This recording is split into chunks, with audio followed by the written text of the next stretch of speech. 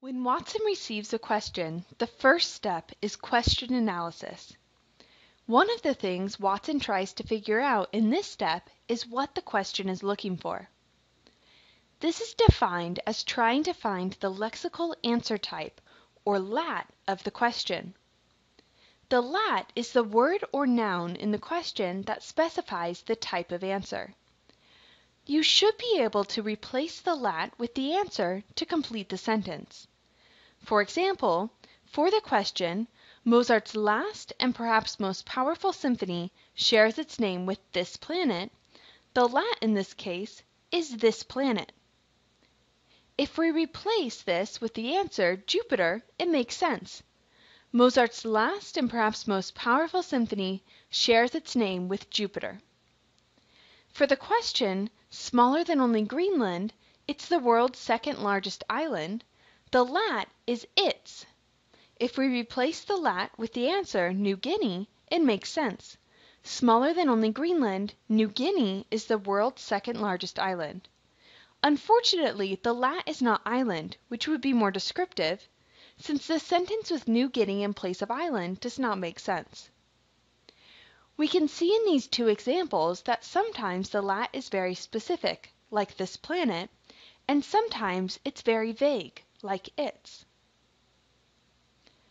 If we know the lat, we know what to look for. However, in an analysis of 20,000 questions, 2,500 distinct lats were found, and 12% of the questions did not even have an explicit lat. They had lats like its.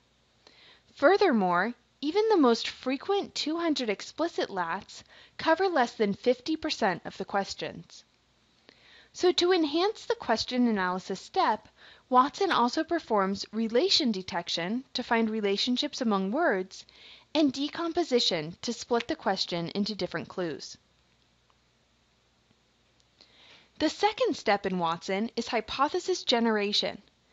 The goal of this step is to use the question analysis of step 1 to produce candidate answers by searching the databases.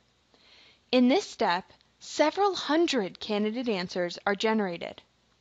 For the question, Mozart's last and perhaps most powerful symphony shares its name with this planet, candidate answers could be Mercury, Earth, and Jupiter. These are generated using various search techniques. Then, each candidate answer plugged back into the question in place of the lat is considered a hypothesis. For the question about Mozart's symphony, Hypothesis 1 would be the question with Mercury in place of this planet. Hypothesis 2 would have Jupiter in place of this planet. And hypothesis 3 would have Earth in place of this planet.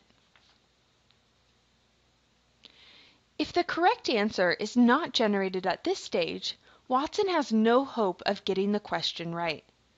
Therefore, this step errs on the side of generating a lot of hypotheses and leaves it up to the next step to find the correct answer. In the next video, we'll discuss how steps 3 and 4 score and rank the hypotheses.